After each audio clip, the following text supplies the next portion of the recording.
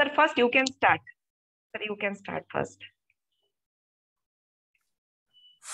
Yeah, thank you, thank you. And uh, it's it's really nice to see that the finally that Karnataka state is in action, and uh, Smita ma'am has been coordinating this for a long time, and I'm glad that the others resource persons have also joined together today to make this uh, a successful uh, event. And I'm sure that the participants are going to uh, encourage our resource persons for the day.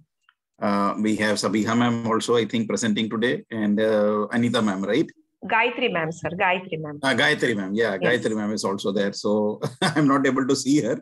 So Okay, I think her uh, video is off. to- Uh-huh. Yeah, she's Ah, there. yes, ma'am, Gayatri ma'am. Now I can see. Yes.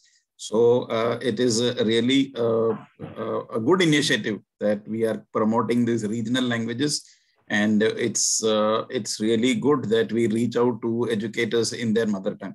So I'm really thankful to Gayatri ma'am uh, and Smita ma'am and uh, Sawiya Sultana ma'am who has joined and uh, uh, encouraged the whole platform of All India Educators Forum in teaching teaching uh, our educators something which they have learned through their experience. So all the best, ma'am. And Okay, over. thank you. Thank you so much, sir. Thank you, sir. Thank you so Thank much. you. So I would like to first start off in English, then I'll uh, switch over to Kannada. Uh, All India Educators Forum and Matthew sir, the founder and director of AIEF, has given me the wonderful opportunity along with me as well as Sabiha ma'am and Gayatri ma'am to be present over here to present our first topic in for Karnataka state in our regional language that is Kannada. And the topic that we have chosen is let's discover the power of art integration in the teaching learning process. ಎಲ್ಲಾ ಶಿಕ್ಷರಿಕ ಶಿಕ್ಷಕರಿಗೂ ನಮಸ್ಕಾರ. ನಾವು ನಮ್ಮ ಪ್ರಯತ್ನದಿಂದ ಇವತ್ತು ನಾವು ಕನ್ನಡ ಭಾಷೆಯಲ್ಲಿ ನಾವು first webinar ಕರ್ನಾಟಕಕ್ಕೋಸ್ಕರ ಇವತ್ತು ಪ್ರೆಸೆಂಟ್ ಮಾಡ್ತಾ ಇದೀವಿ ಇವತ್ತಿನ ಟಾಪಿಕ್ ಇವತ್ತಿನ ಪ್ರೆಸೆಂಟೇಶನ್ಗೆ ನಮ್ಗೆ ಮುಖ್ಯವಾಗಿ ಹೆಲ್ಪ್ ಮಾಡಿರೋರು ಅಂದ್ರೆ A I A founder director Mathew sir ಅವ್ರಿಗೆ ಕೋಟಿ ಕೋಟಿ ಪ್ರಣಾಮಗಳು. ಇವತ್ತಿನ ನಮ್ಮ ಟಾಪಿಕ್ ನಾವು ಚೂಸ್ ಮಾಡ್ಕೊಂಡಿರೋದು ಏನು ಅಂದ್ರೆ let's discover the power of art integration ಅಂದ್ರೆ ಕಲೆಯ ಏಕೀಕರಣದ ಶಕ್ತಿಯನ್ನ ನೋಡೋಣ ಬನ್ನಿ. ನಿಮ್ಗೆಲ್ಲ ಮಾಡಿರ್ಬಹುದು ಈ ಕಲೆಗಳನ್ನ ಉಪಯೋಗಿಸಿ ಕ್ಲಾಸ್ ರೂಮ್ ಅಲ್ಲಿ ಹೇಗ್ ಚೆನ್ನಾಗಿ ಪಾಠ ಮಾಡ್ಬೋದು ಅಂತ ನೀವೆಲ್ಲ ನೋಡಿರಬಹುದು.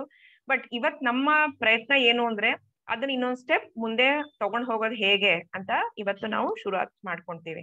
ಇವತ್ತು ರಿಸೋರ್ಸ್ ಪರ್ಸನ್ಸ್ ನಾವು ಮೂರ್ ಜನ ಇದೀವಿ ದಮ್ ಇಂಟ್ರಡಕ್ಷನ್ ಈಗ ನಾವು ಕೊಡ್ತೀವಿ. ಮೊದಲನೇದಾಗಿ ನಾನು ಇಂಟ್ರಡಕ್ಷನ್ ಆಗಿ ಕೊಟ್ಟು ನೆಕ್ಸ್ಟ್ ಗಾಯತ್ರಿ ಮ್ಯಾಮ್ ಅದಾದ್ಮೇಲೆ ಸಬಿಹಾ ಮ್ಯಾಮ್ ಅವ್ರ ಬಗ್ಗೆ ಹೇಳ್ತಾರೆ. ನನ್ನ ಹೆಸರು ಸ್ಮಿತಾರ್ ಆತ್ರೇಯ ಅಂತ. ನಾನು ಡೆಲ್ಲಿ ಪಬ್ಲಿಕ್ ಸ್ಕೂಲ್ ರೌರ್ಕೆಲಾ ಒಡಿಶಾ ಸ್ಟೇಟ್ನಲ್ಲಿ ಕಂಪ್ಯೂಟರ್ ಸೈನ್ಸ್ ಟೀಚರ್ ಆಗಿ ಕೆಲಸ ಮಾಡ್ತೀನಿ. ನಾನು all India educators forum resource person plus master trainer ಮತ್ತು ಈಗ Gayatri ma'am ma'am unmute yourself unmute yourself ನಮಸ್ಕಾರ, ಸ್ಮಿತಾ ಮ್ಯಾಮ್ ಥ್ಯಾಂಕ್ ಯು ಮೊದಲನೇದಾಗಿ I would like to thank Mathew sir for having given a such a beautiful platform and for us to be a part of it. And um, uh, thanks to Smita ma'am, I know it's been a tough journey getting all of us together and preparing us and guiding us. So, ನನ್ನ ಹೆಸರು ಗಾಯತ್ರಿ ಅಂತ I am the principal as well as an English teacher R J public school ಬ್ಯಾಂಗ್ಳೂರ್ನಲ್ಲಿ So I look forward to learning from all your experiences. And thank you, Sabiha ma'am, also for being with us today. Thank you Gayathri ma'am ಈಗ Sabiha ma'am ಎಲ್ಲರಿಗೂ ನಮಸ್ಕಾರಗಳು. ನನ್ನ ಹೆಸರು ಸಬಿಯಾ ಸುಲ್ತಾನ ಅಂತ. And first of all I would like to thank Mathew sir for providing such a great platform to us to show our skills and the thing what is there hidden in inside our self it had got the opportunity to bring it in front of everybody. I would like to thank uh, Matthew sir for this. And uh, ನಾನು ಸಭಿಯಾ ಸುಲ್ತಾನ ಅಂತ. ನಾನು social science ಪಾಠ ಮಾಡ್ತಾ ಮಾಡ್ತೀನಿ ಇವತ್ತು ಈ ಒಂದು webinar ಅಲ್ಲಿ ಎಷ್ಟೊಂದು ಥಿಂಗ್ಸ್ ಇದೆ ನಾವು ಮಾತಾಡೋದು, ಕಲ್ತ್ಕೊಳ್ಳೋದು. Let us see forward to it okay thank you so much Sabiha ma'am and Gayatri ma'am ಇವತ್ತಿನ ನಮ್ಮ ವೆಬಿನಾರ್ ಆಬ್ಜೆಕ್ಟಿವ್ಸ್ ಅಥವಾ ಗುರಿಗಳು ಏನು ಅಂದ್ರೆ ಫಸ್ಟ್ ಆಫ್ ಆಲ್ ನೋಡೋಣ. National education policy twenty twenty ಅದ್ರ ಬಗ್ಗೆ ಸ್ವಲ್ಪ ಇಂಟ್ರೊಡಕ್ಷನ್ ಕೊಡ್ತೀವಿ. ಅದಾದ್ಮೇಲೆ ಬೇರೆ ತರಹದ ಆ ಬೋಧನಾ ಕಲಿಕೆಯ ಪ್ರಕ್ರಿಯೆಗಳು ಯಾವುದು? ಅಂದ್ರೆ ಪೆಡಗಾಗಿಸ್ ಯಾವುದು? ಸೊ ದಟ್ ನಾವು ಟೀಚಿಂಗ್ ಲರ್ನಿಂಗ್ ಪ್ರೋಸೆಸ್ ಹೇಗೆ ಎಫೆಕ್ಟಿವ್ ಮಾಡ್ಬೋದು ಅಂತ. ಅಂದ್ರೆ ಟೀಚಿಂಗ್ ಲರ್ನಿಂಗ್ ಪ್ರೋಸೆಸ್ ಅಂದ್ರೆ ಬೋಧನಾ ಕಲಿಕೆಯ ಪ್ರಕ್ರಿಯೆ. ಅಥವಾ ಪೆಡಗಾಗಿ ಅಂದ್ರೆ ಶಿಕ್ಷಣ ಶಾಸ್ತ್ರಗಳು ಯಾವ್ದು? ಯಾವ ತರ ಉಪಯೋಗಿಸ್ಕೋಬಹುದು ನಮ್ ಕ್ಲಾಸ್ ರೂಮ್ ಅಲ್ಲಿ? ಅದನ್ನ ತಿಳ್ಕೊಳ್ಳೋಣ. ಇದ್ರಲ್ಲಿ ನಮ್ ಮೇನ್ ಫೋಕಸ್ ಇವತ್ತು ಯಾವುದು ಅಂದ್ರೆ ಆರ್ಟ್ ಇಂಟಿಗ್ರೇಷನ್ ಹೇಗೆ ನಾವು ಕಲೆಯ ಮೂಲಕ ಮಕ್ಳಿಗೆ ಎಫೆಕ್ಟಿವ್ ಪಾಠ ಹೇಗ್ ಮಾಡ್ಬೋದು? ಮಕ್ಕಳನ್ನ ಇನ್ನೂ ಕುತೂಹಲ ಕೊಡಿಸ್ಬೋದು ಕ್ಲಾಸ್ ರೂಮ್ ಅಲ್ಲಿ, ಅದನ್ನು ತಿಳ್ಕೊಳ್ಳೋಣ. ಅದಲ್ಲದೆ ಆರ್ಟ್ ಇಂಟಿಗ್ರೇಷನ್ ಇಂದ, ಕಲೆ ಏಕೀಕರಣದಿಂದ ಅದ್ರದ್ದು ಏನೇನ್ ಬೆನಿಫಿಟ್ಸ್ ಇದೆ ಅಥವಾ ಏನೇನ್ ಉದ್ದೇಶಗಳಿದೆ ಅಥವಾ ಅದ್ರದ್ದು ಏನೇನ್ ಅಡ್ವಾಂಟೇಜಸ್ ಇದೆ ಅಂತ ಎಲ್ಲ ತಿಳ್ಕೊಳ್ಳೋಣ. ನೆಕ್ಸ್ಟ್ ನಾವು ಬೇರೆ ಸಬ್ಜೆಕ್ಟ್ಸ್ ಅಲ್ಲಿ ಆರ್ಟ್ ಇಂಟಿಗ್ರೇಷನ್ ಹೇಗ್ ಮಾಡ್ಬೋದು? ಇಂಗ್ಲಿಷ್ ಅಲ್ಲಿ ಮ್ಯಾಥಮೆಟಿಕ್ಸ್ ಅಲ್ಲಿ ಸೈನ್ಸ್ ಅಲ್ಲಿ ಸೋಷಿಯಲ್ ಸ್ಟಡೀಸ್ ಅಲ್ಲಿ ಹೇಗ್ ಮಾಡ್ಬೋದು ಅಂತ ತಿಳ್ಕೊಳ್ಳೋಣ. ಕೊನೆಗೆ ಈ ಆರ್ಟ್ ಇಂಟಿಗ್ರೇಷನ್ ಮಾಡ್ಬೇಕಾದ್ರೆ ಯಾವ್ಯಾವ ರಿಸೋರ್ಸಸ್ ನಾವು ಉಪಯೋಗಿಸ್ಕೋಬಹುದು ಅಂತಾನು ತಿಳ್ಕೊಳ್ಳೋಣ. ಈಗ ಮೊದಲೇದಾಗಿ national education policy overview ಇಲ್ಲಿ ಕೊಟ್ಟಿದ್ದೀನಿ ನಾನು. ಅಂದ್ರೆ ಮುಖ್ಯ ಉದ್ದೇಶಗಳೇನು ಅಂತ. ಮೇ ತಿಂಗಳನ ಎರಡ್ ಸಾವಿರದ ಇಪ್ಪತ್ನಲ್ಲಿ ಅವ ನಮ್ದು government of India union cabinet ಈ ನ್ಯಾಷನಲ್ ಎಜುಕೇಶನ್ ಪಾಲಿಸಿನ ತಗೊಂಬಂತು. ಬಹುತ್ ಅಂದ್ರೆ ತುಂಬಾ ದಿನದಿಂದ ಇದ್ರದ್ ನೆಸೆಸಿಟಿ ಇತ್ತು ಆಕ್ಚುಲಿ ಯಾಕಂದ್ರೆ ಹಳೆ ತರ ನಾವು ಊರ್ ಹೊಡ್ಕೊಂಡ್ ಪಾಠ ಮಾಡ್ತಾ, ಮಕ್ಳೆಲ್ಲ ಕಲ್ತ್ಕೊಂತಾ ಇದ್ರು ಬರೀ ಮಾರ್ಕ್ಸ್ ಗೋಸ್ಕರ ಓದ್ತಾ ಇದ್ರು. ಸೊ ಅದೆಲ್ಲ ಚೇಂಜ್ ಮಾಡಿ ಟ್ವೆಂಟಿ ಫಸ್ಟ್ ಸೆಂಚುರಿ ಅಂದ್ರೆ ಇಪ್ಪತ್ತೊಂದನೇ ಶತಮಾನಕ್ಕೆ ಮಕ್ಳು ಹೇಗ್ ನಾವು ರೆಡಿ ಮಾಡ್ಬೇಕು ಮುಂದೆ? ಅದನ್ನ ಹೇಗೆ ನಾವು ಮಕ್ಳಿಗೆ ಪಾಠ ಮಾಡ್ಬೇಕು?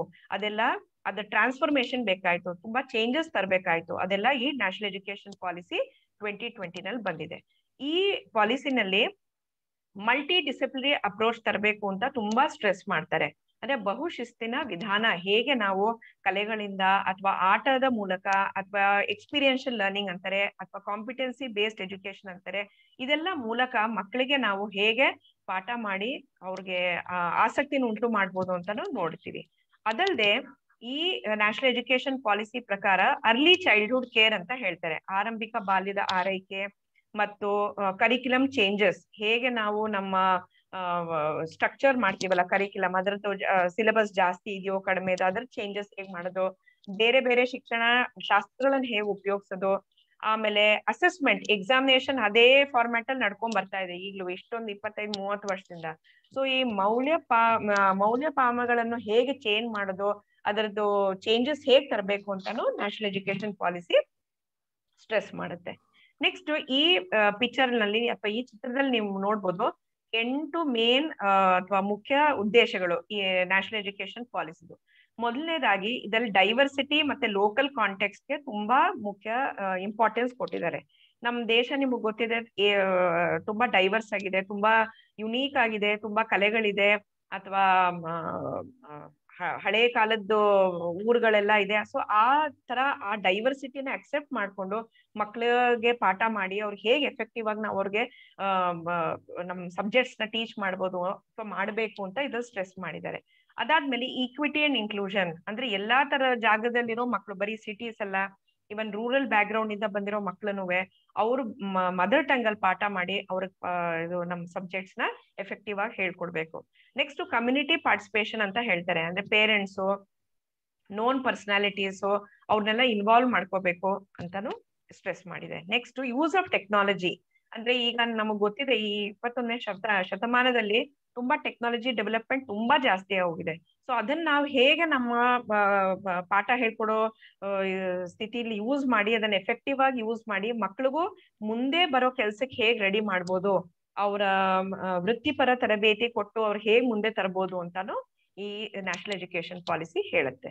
ಮುಂದೆ ಇನ್ನು ಐದನೇ ಐದನೇ ಕೀ ಪಾಯಿಂಟ್ ಏನು ಅಂದ್ರೆ ಕಾನ್ಸೆಪ್ಚುಯಲ್ ಅಂಡರ್ಸ್ಟ್ಯಾಂಡಿಂಗ್ ಅದೇ ರೋಡ್ ನೋ ರೋಡ್ ಲರ್ನಿಂಗ್ ಅಂತ ಹೇಳ್ತೀವಿ ನಾವ್ ಇದನ್ನ.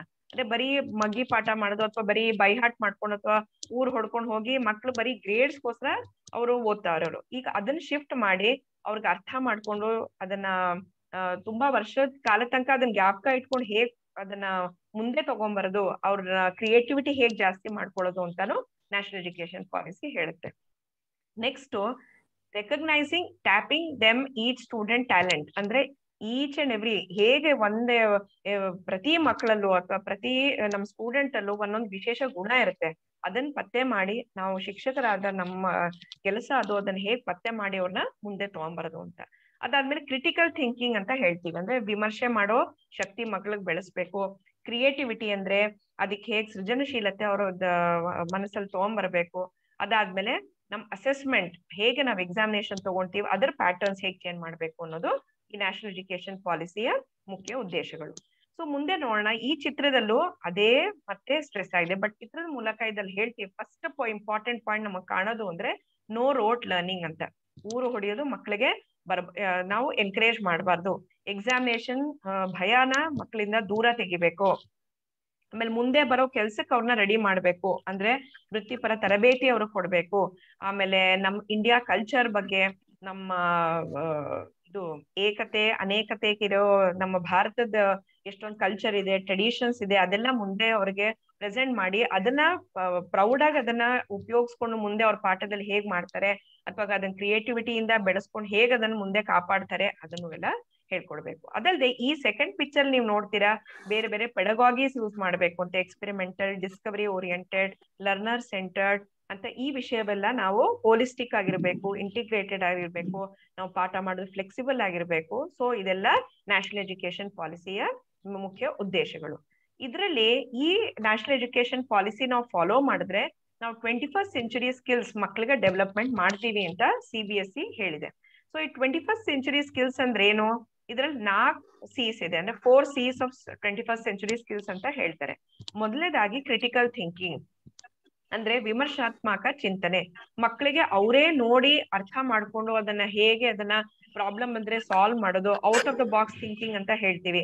ಸೊ ಅದ್ರ ಬಗ್ಗೆ ಎಲ್ಲ ಯೋಚನೆ ಮಾಡಿ ಮುಂದೆ ಹೇಗೆ ಅದನ್ನ ಆ ಪ್ರಾಬ್ಲಮ್ ಸಾಲ್ವ್ ಮಾಡ್ಕೊಂಡು ಎಲ್ಲ ಪಾಠನ ಅದನ್ನ ಹೇಗೆ ಅವ್ರ ಸೊಸೈಟಿಗೆ ಉಪಯೋಗಿಸ್ಕೋಬಹುದು ಅಂತ ಇದೆಲ್ಲ ಹೇಳ್ಕೊಡ್ಬೇಕಾಗತ್ತೆ. ನೆಕ್ಸ್ಟ್ ಕೊಲಾಬರೇಷನ್ ಅಂದ್ರೆ ಸಹಯೋಗ. ಎಲ್ಲಾರು ಹೆಲ್ಪ್ ತಗೊಂಡು ಟೀಮ್ ವರ್ಕ್ ಅಲ್ಲಿ ಟೀಮ್ ಸ್ಪಿರಿಟ್ ಇಂದ ಮಕ್ಕಳು ಕೆಲಸ ಮಾಡ್ಬೇಕು. ನೆಕ್ಸ್ಟ್ ಕಮ್ಯುನಿಕೇಶನ್ ಅಂದ್ರೆ ವಾಕ್ ಸಾಮರ್ಥ್ಯ ಅವ್ರಿಗೆ ಮಾತಾಡೋ ಶಕ್ತಿ, ಧೈರ್ಯ ಲೀಡರ್ಶಿಪ್ ಸ್ಕಿಲ್ಸ್ ಇದೆಲ್ಲ ಡೆವಲಪ್ಮೆಂಟ್ ನಾವು ಮಾಡಿಸ್ಬೇಕಾಗತ್ತೆ. ಅದಲ್ಲದೆ ಕ್ರಿಯೇಟಿವಿಟಿ ಕ್ರಿಯೇಟಿವಿಟಿ ತುಂಬಾ ಸ್ಟ್ರೆಸ್ ಮಾಡಿದ್ದಾರೆ ನ್ಯಾಷನಲ್ ಎಜುಕೇಶನ್ ಪಾಲಿಸಿ ಅಂದ್ರೆ ಸೃಜನಶೀಲತೆ ಅವ್ರಿಗೆ ಮಕ್ಕಳಿಗೆ ಕೊಡ್ಬೇಕಾಗತ್ತೆ. ಐಡಿಯಾ ಜನರೇಟ್ ಮಾಡ್ಬೇಕಾಗತ್ತೆ. ಆ ಹೊಸ ಐಡಿಯಾ ಬಂದ್ರೆ ಅದನ್ನ ಹೇಗ್ ಇಂಪ್ಲಿಮೆಂಟ್ ಮಾಡ್ಬೇಕು ಅಂತ ಮಕ್ಕಳಿಗೆ ಹೇಳ್ಕೊಡ್ಬೇಕಾಗತ್ತೆ. ಸೊ ಅದೆಲ್ಲ ತುಂಬಾ ಇಂಪಾರ್ಟೆಂಟ್ ಆಗಿದೆ ನ್ಯಾಷನಲ್ ಎಜುಕೇಶನ್ ಪಾಲಿಸಿಯಿಂದ ನೆಕ್ಸ್ಟ್ ಈ ನ್ಯಾಷನಲ್ ಎಜುಕೇಶನ್ ಪಾಲಿಸಿ ಟ್ವೆಂಟಿ ಟ್ವೆಂಟಿಲಿ ಈ ಮೂರ್ ಇದು ಸ್ಟ್ರೆಸ್ ಮಾಡಿದ್ದಾರೆ. ಅಂದ್ರೆ ಎಕ್ಸ್ಪೀರಿಯನ್ಷಿಯಲ್ ಲರ್ನಿಂಗ್ ಆರ್ಟ್ ಇಂಟಿಗ್ರೇಷನ್ ಒಂದು ಸ್ಪೋರ್ಟ್ಸ್ ಇಂಟಿಗ್ರೇಷನ್ ಅಂದು. ಸೊ ಇವತ್ತಿನ ನಮ್ಮ ಮೇನ್ ಟಾಪಿಕ್ ನಾವು ಚೂಸ್ ಮಾಡಿರೋದು ಆರ್ಟ್ ಇಂಟಿಗ್ರೇಷನ್ ಅಂತ. ಇದರಲ್ಲಿ ಕಲೆಯ ಮೂಲಕ, ಕಲೆಯ ಏಕೀಕರಣ ಮೂಲಕ ನಾವು ಪಾಠ ಹೇಗೆ ನಮ್ಮ ಮಕ್ಕಳಿಗೆ ಎಫೆಕ್ಟಿವ್ ಮಾಡಬಹುದು ಅಂತ. ಈಗ ಆರ್ಟ್ ಇಂಟಿಗ್ರೇಷನ್ ಲರ್ನಿಂಗ್ ಅಂದ್ರೆ ಏನು ಅಥವಾ ಆರ್ಟ್ ಇಂಟಿಗ್ರೇಟೆಡ್ ಇಂಟಿಗ್ರೇಷನ್ ಅಂದ್ರೆ ಏನು ಆರ್ಟ್ ಅಂದ ತಕ್ಷಣ ಎಲ್ಲರೂ ಡ್ರಾಯಿಂಗ್ ಪೇಂಟಿಂಗ್ ಅಯ್ಯೋ, ನಮ್ ಕೈಲಿ ಆಗಲ್ಲ ಅಂತಾನೆ ಫಸ್ಟ್ ಎಲ್ಲ ಯೋಚನೆ ಮಾಡ್ತಾರೆ. ಯಾಕಂದ್ರೆ ಸುಮಾರು ಜನ ಟೀಚರ್ಸ್ ನಾವ್ ಆದ್ರೂ ನಮ್ಗೆ ಡ್ರಾಯಿಂಗ್ ಪೇಂಟಿಂಗ್ ಅಷ್ಟು ಐಡಿಯಾ ಇರಲ್ಲ. We always depend on the art teachers ನೀವೆಲ್ಲ ಐಡಿಯಾ ಕೊಡಿ ಅಂತ ಹೇಳ್ತೀವಿ. ಬಟ್ ಇದ್ರಲ್ಲಿ ಏನ್ ಹೇಳ್ತಾರೆ ಅಂದ್ರೆ ಆರ್ಟ್ ಮೂಲಕ ಅಥವಾ ಕಲೆಯ ಮೂಲಕ ನಾವು ಬೇರೆ ಬೇರೆ ವಿಷಯಗಳನ್ನ ಮಕ್ಕಳಿಗೆ ಹೇಗ್ ಹೇಳ್ಕೊಡ್ಬಹುದು ಅಂತ. ಸೊ ಈ ಪಿಕ್ಚರ್ ಅಲ್ಲಿ ತೋರಿಸ್ದೆ ಆರ್ಟ್ಸ್ ಪ್ಲಸ್ ಅಂತ ಈ ಇದ್ರಲ್ಲಿ languages science social studies mathematics ಎಲ್ಲ ಸೇರಿಸಿ ನಮ್ ನಮ್ ಸಬ್ಜೆಕ್ಟು ಪ್ಲಸ್ ಆರ್ಟ್ ಮೂಲಕ ನಾವು ಬೇರೆ ಬೇರೆ ವಿಷಯಗಳನ್ನ ಹೇಗೆ ಹೇಳ್ಕೊಟ್ರೆ ಆ ಪ್ರೋಸೆಸ್ನ ಅದನ್ನ ಆರ್ಟ್ ಇಂಟಿಗ್ರೇಟೆಡ್ ಲರ್ನಿಂಗ್ ಅಂತ ಹೇಳ್ತೀವಿ. ಯಾಕೆ ಇದನ್ನ ಹೇಳ್ತೀವಿ ಅಂದ್ರೆ ಇದನ್ನ ಮಕ್ಳಿಗೆ ಬೇಗ ಗ್ರಾಸ್ಪ್ ಮಾಡ್ತಾರೆ ಅಥವಾ ಬೇಗ ಅರ್ಥ ಮಾಡ್ಕೊಂತಾರೆ. ಪ್ಲಸ್ ಅದು ಜಾಯ್ಫುಲ್ ಆಗಿರುತ್ತೆ, ಅದು ತುಂಬಾ ಇಂಟ್ರೆಸ್ಟಿಂಗ್ ಆಗಿರುತ್ತೆ. ಮಕ್ಳಿಗೆ ಕುತೂಹಲ ಡೆವಲಪ್ ಆಗುತ್ತೆ. ಓಕೆ ಇದನ್ನ ಇನ್ನೂ ಒಂಚೂರು ಮುಂದೆ ತಗೊಂಡ್ ಹೋಗೋಣ ಅಂತ. ಈ ಆರ್ಟ್ ಇಂಟಿಗ್ರೇಷನ್ ಅಡ್ವಾಂಟೇಜಸ್ ಏನೇನು ಅಥವಾ ಅದರ ಪವರ್ ಏನೇನು ಅಂತ ಹೇಳಿದ್ರೆ ಬ್ಲೂಮ್ಸ್ ಟ್ಯಾಕ್ಸಾನಮಿ ಅಂತ ನಾವು ನಮ್ಮ ಬಿ ಎಡ್ ಕೋರ್ಸಸ್ ಅಲ್ಲಿ ಓದಿರ್ತೀವಿ. ಇದ್ರ ಪ್ರಕಾರ ಮಕ್ಕಳಿಗೆ ರಿಮೆಂಬರಿಂಗ್ ಅಥವಾ ಜ್ಞಾಪಿಸ್ಕೊಳ್ಳೋದು, ಅರ್ಥ ಮಾಡ್ಕೊಳ್ಳೋದು, ಅದನ್ನ ಅನಲೈಸ್ ಮಾಡಿ ಅದನ್ನ ಮುಂದೆ ಏನಾರ ಪ್ರಾಬ್ಲಮ್ ಆದ್ರೆ ಅದನ್ನ ಇಂಪ್ಲಿಮೆಂಟ್ ಮಾಡೋದು ಇದೆಲ್ಲ ಪ್ರೋಸೆಸ್ ನಾವು ನಮ್ಮ ರೆಗ್ಯುಲರ್ ಕ್ಲಾಸ್ ರೂಮ್ ಅಲ್ಲಿ ಉಪಯೋಗಿಸ್ತೀವಿ. ಸೊ ಈ ಆರ್ಟ್ ಇಂಟಿಗ್ರೇಷನ್ ಉಪಯೋಗಿಸ್ ಮಾಡಿದ್ರೆ ಇದೆಲ್ಲ ನಾವು ಬ್ಲೂಮ್ಸ್ ಟ್ಯಾಕ್ಸಾನಮಿ ಏನೇನ್ ಪಾಯಿಂಟ್ಸ್ ಇದೋ ಇದೆಲ್ಲ ನಾವು ಅದನ್ನ ಮಕ್ಕಳಿಗೆ ಹೆಲ್ಪ್ ಮಾಡಕ್ಕೆ ಇದೆಲ್ಲ ಇಂಪ್ಲಿಮೆಂಟ್ ಮಾಡಕ್ಕೆ. ಅದಲ್ಲದೆ ಎಲ್ಲಾ ಸಬ್ಜೆಕ್ಟ್ ಅಲ್ಲೂ ನಾವು ನೋಡಿದ್ರೆ ಆರ್ಟ್ ಇಂಟಿಗ್ರೇಷನ್ ಇದ್ದೇ ಇದೆ. ಅದನ್ನ ಇನ್ನೊಂಚೂರು ಹೈಲೈಟ್ ಮಾಡಿ ಮಕ್ಳಿಗೆ ಬೇರೆ ತರ ಆಂಗಲ್ ಇಂದ ಯೋಚನೆ ಮಾಡೋ ಶಕ್ತಿ ನಾವು ಕೊಡ್ಬಹುದಾಗುತ್ತೆ ಅದಾದ್ಮೇಲೆ ಆರ್ಟ್ ಇಂದ ಸುಮಾರ್ ವರ್ಡ್ಸ್ ಬರೆಯೋದು ಅದೆಲ್ಲ ಇದೆ. Picture a picture speaks a thousand words ಅಂತ ಹೇಳ್ತೀವಿ ನಾವು. ಸೊ ಆರ್ಟ್ ಮೂಲಕ ನಾವು ಸುಮಾರು ವಿಷಯನ ಮಕ್ಳಿಗೆ ತುಂಬಾ ಈಸಿ ಆಗಿ, ತುಂಬಾ ಇಂಟ್ರೆಸ್ಟಿಂಗ್ ಆಗಿ ನಾವು ಪಾಠ ಮಾಡ್ಬೋದು. ಸೊ ಈ ಸ್ಲೈಡ್ ಅಲ್ಲೂ ಅದೇ, ನಮ್ ಕರಿಕ್ಯುಲಮ್ ಅಲ್ಲಿ ಏನೇನ್ ಸಬ್ಜೆಕ್ಟ್ಸ್ ಇದೆ ಸೈನ್ಸ್ ಇದೆ ಮ್ಯಾಥ್ಸ್ ಇದೆ ಇಂಗ್ಲಿಷ್ ಇದೆ ಸೋಷಿಯಲ್ ಸ್ಟಡೀಸ್ ಇದೆ ಕಂಪ್ಯೂಟರ್ ಸೈನ್ಸ್ ಇದೆ ಲ್ಯಾಂಗ್ವೇಜಸ್ ಇದೆ, ಇನ್ನು ಬೇರೆ ಬೇರೆ ಸಬ್ಜೆಕ್ಟ್ಸ್ ಎಲ್ಲ ಇದೆ. ಇದ್ರ ಜೊತೆ ನಾವು theatre form dance form music painting puppets clay models ಎಲ್ಲ ಜೋಡಿಸಿದ್ರೆ ಫೈನಲಿ ನಮ್ಗೆ ಏನ್ ಸಿಗುತ್ತೆ? ಆರ್ಟ್ ಇಂಟಿಗ್ರೇಷನ್ ಅಂದ್ರೆ ಕಲೆ, ಕಲೆಯ ಏಕೀಕರಣ ಸಿಗುತ್ತೆ. ಇದರ ಅಡ್ವಾಂಟೇಜಸ್ ಏನು? ಸಿ ಬಿ ಎಸ್ ಇ ಪ್ರಕಾರ ಕಲೆ ಏಕ, ಕಲೆಯ ಏಕೀಕರಣ ಮಾಡಿದ್ರೆ ಮಕ್ಕಳಿಗೆ ಆತ್ಮವಿಶ್ವಾಸ ಬರುತ್ತೆ ಆತ್ಮ ಗೌರವ ಆಗುತ್ತೆ. ಅವರ ಕಲೆಯಲ್ಲಿ ಎಲ್ಲಾ ಕಲೆಗಳನ್ನು ಮೆಚ್ಚಕ್ ಶುರು ಮಾಡ್ತಾರೆ. ಇದು ಎಷ್ಟು ಕಷ್ಟ ಇದೆ ಇದ್ ಮಾಡೋದು, ಇದು ಮಾಡೋ ಜನಕ್ಕೆ ಎಷ್ಟು ಸ್ಕಿಲ್ ಇರಬೇಕು ಅಂತ ಅದೆಲ್ಲ ಅಪ್ರಿಶಿಯೇಟ್ ಮಾಡಕ್ ಶುರು ಮಾಡ್ತಾರೆ.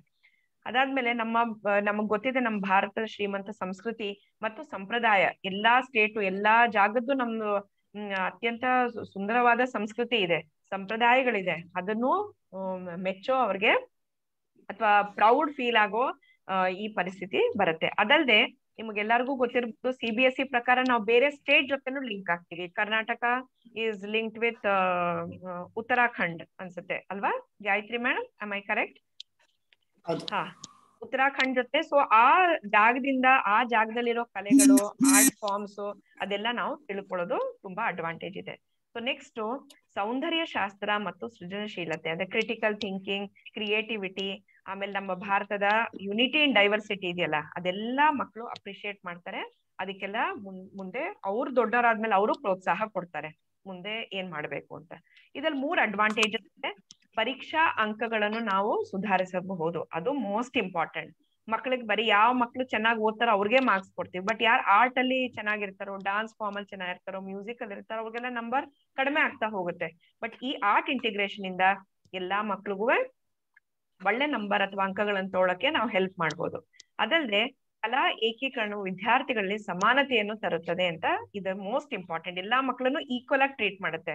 ಬರೀ ಚೆನ್ನಾಗಿ ನಂಬರ್ ತರೋರ್ನೇ ಅಲ್ಲ. ಯಾರ ಕಲೆಗಳಲ್ಲಿ ಮುಂದೆ ಇರ್ತಾರೆ, ಯಾರು ಚೆನ್ನಾಗಿ ಹಾಡ್ ಹೇಳ್ತಾರೆ ಪೇಂಟಿಂಗ್ ಮಾಡ್ತಾರೆ ಡಾನ್ಸ್ ಮಾಡ್ತಾರೆ, ಹೊಸ ಹೊಸ ತರ ಐಡಿಯಾಸ್ ಹಾಕ್ತಾರೆ, ಅವ್ರಿಗೂ ಎಲ್ಲ ನಾವು ಸಮಾನತೆಯಿಂದ ಟ್ರೀಟ್ ಮಾಡ್ಬೋದು. ಅದಲ್ಲದೆ ನಾವು ನಮ್ಮ ಸಮುದಾಯ, ಇದೆಲ್ಲ community participation parents party participation ಇದ್ರಲ್ಲಿ ಇನ್ವಾಲ್ವ್ ಮಾಡಬಹುದು.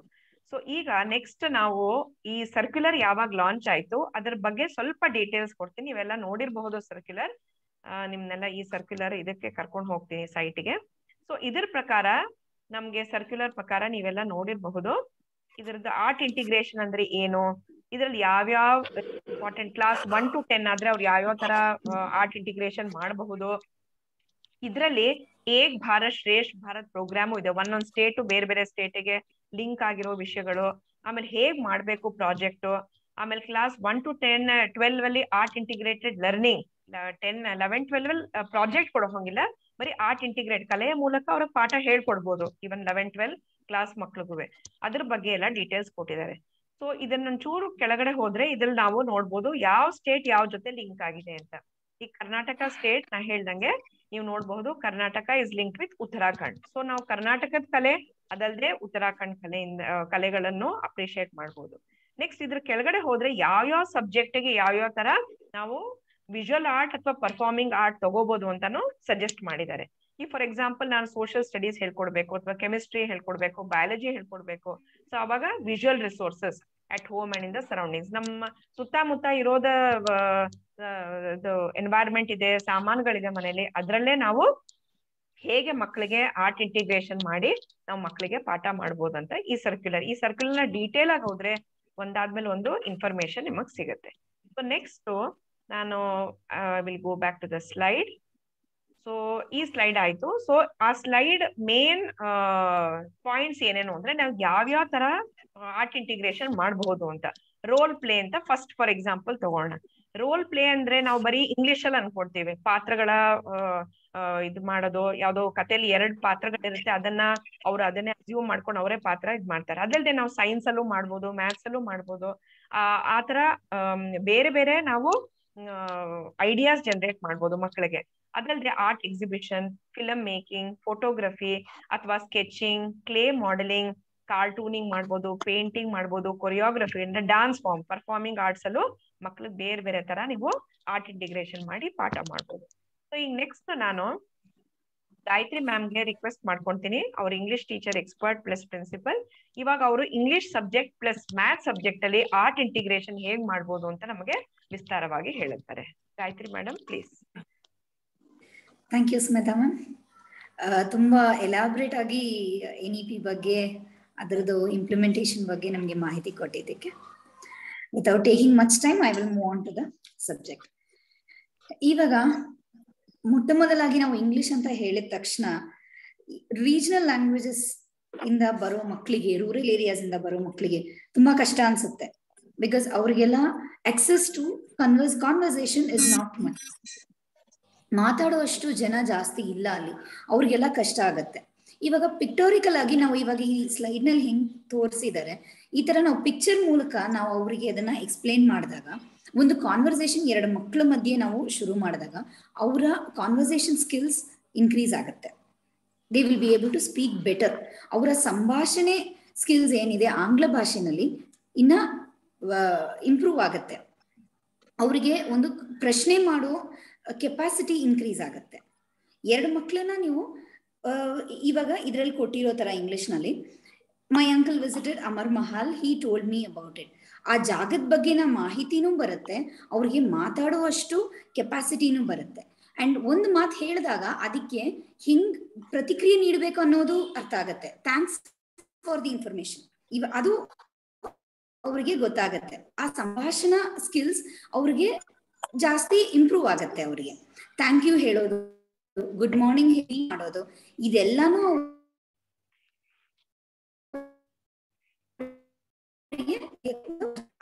ಈ ಸ್ಲೈಡ್ ಒಂದು ಪೊಯೆಟ್ರಿ ಬಗ್ಗೆ ಇದೆ, ಒಂದು ಔಲ್ ಇದೆ ಅದ್ರಲ್ಲಿ. ಇದ್ರ ಇದ್ರ ಮೂಲಕ ಅವ್ರಿಗೆ ಕಲರ್ಸ್ ಅರ್ಥ ಆಗತ್ತೆ, ಅವ್ರಿಗೆ ಮೂನ್ ಲೈಟ್ ಅಂದ್ರೆ ಏನ್ ಅರ್ಥ ಆಗತ್ತೆ ಡಾರ್ಕ್ ನೈಟ್ ಅಂದ್ರೆ ಏನ್ ಅರ್ಥ ಆಗತ್ತೆ ಇದೆಲ್ಲ ಅವ್ರಿಗೆ ಅರ್ಥ ಆಗುತ್ತೆ.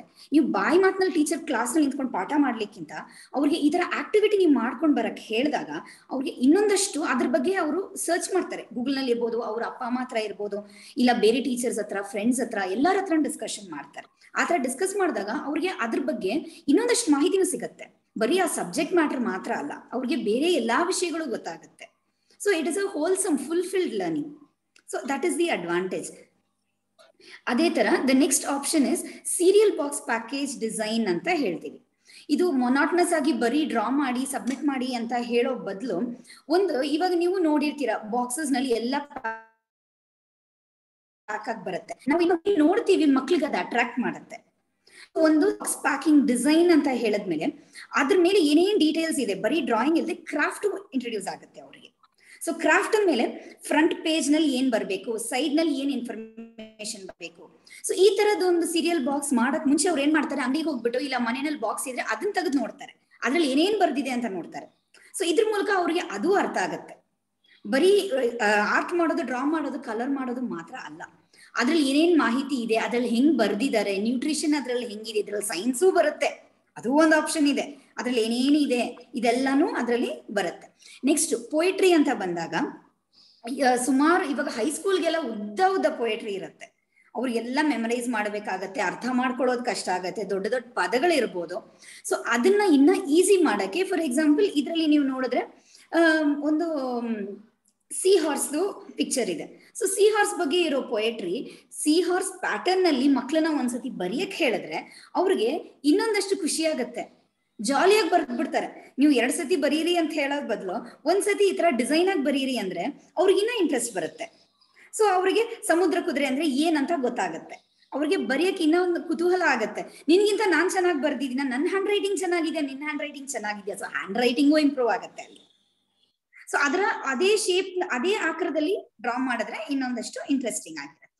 ನೆಕ್ಸ್ಟ್ ಇನ್ನೊಂದು ಏನಂದ್ರೆ ಬ್ರೋಷರ್ಸ್ ಸೊ ಆ ಬ್ರೋಷರ್ ಅಂದ್ರೆ ನಾವು ಕೈಪಿಡಿ ಅಥವಾ ಕಿರಿ ಪುಸ್ತಕ ಅಂತೀವಿ.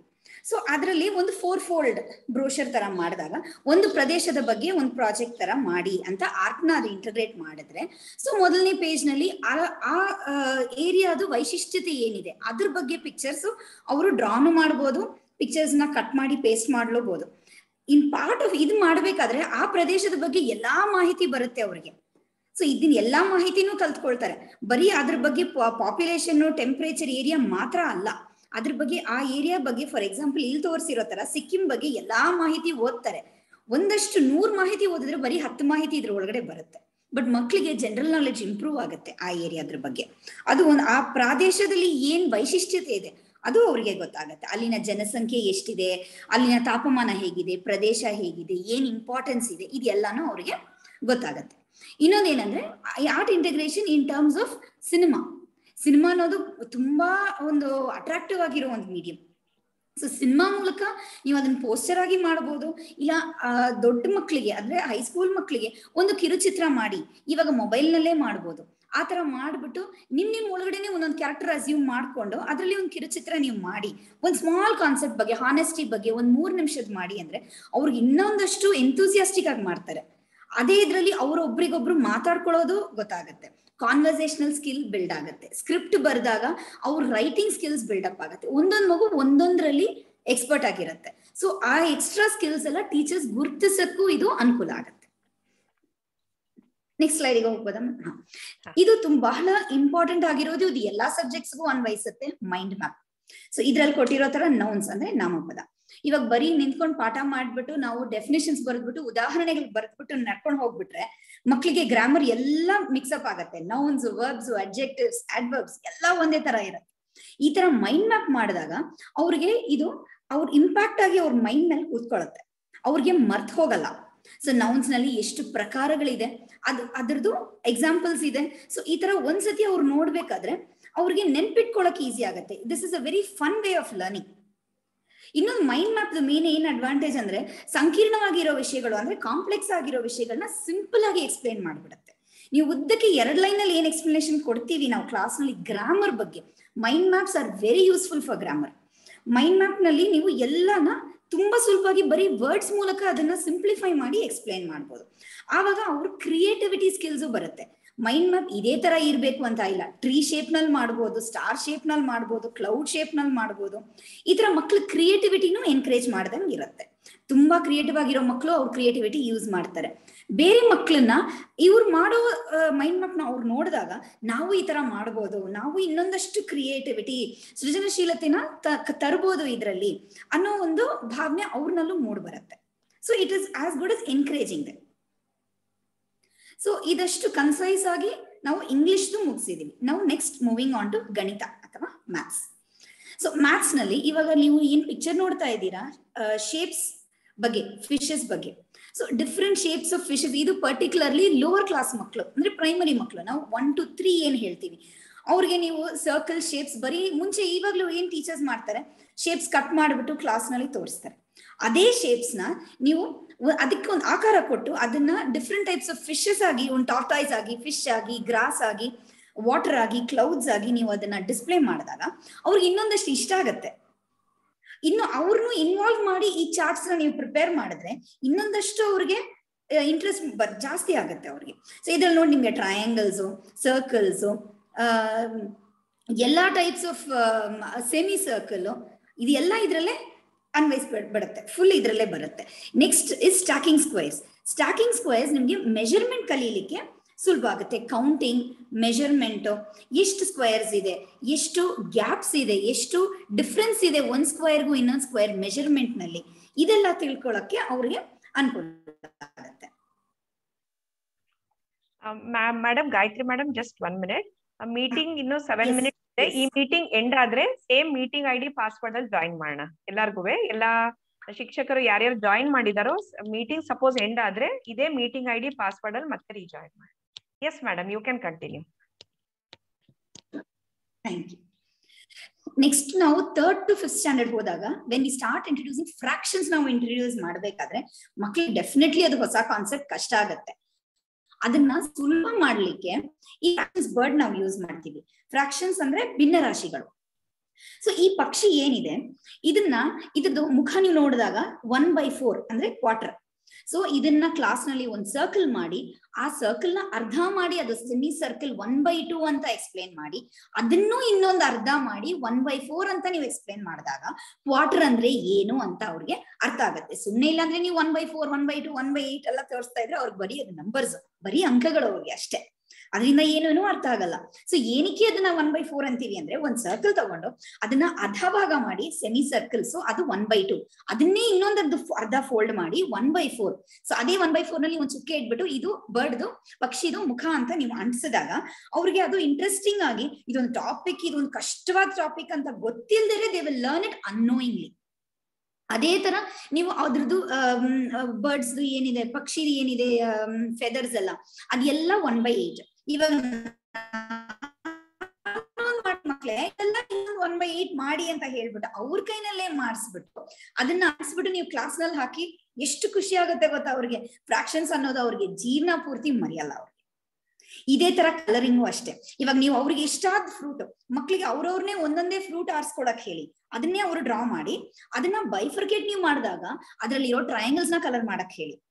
ಅದ್ರಲ್ಲಿ ಎಷ್ಟು ಟ್ರಯಾಂಗಲ್ಸ್ ಇದೆ, ಅದನ್ನ ಬ್ಲೂ ಕಲರ್ನಲ್ಲಿ ಮಾಡಕ್ ಹೇಳ್ಬೋದು. ಒನ್ ಪರ್ಟಿಕ್ಯುಲರ್ ಕಲರ್ ಸೊ ಅದ್ರಲ್ಲಿ ಒನ್ ಬೈ ಫೋರ್ ಇರೋ ಶೇಪ್ಸ್ನ ಇನ್ನೊಂದು ಕಲರ್ನಲ್ಲಿ.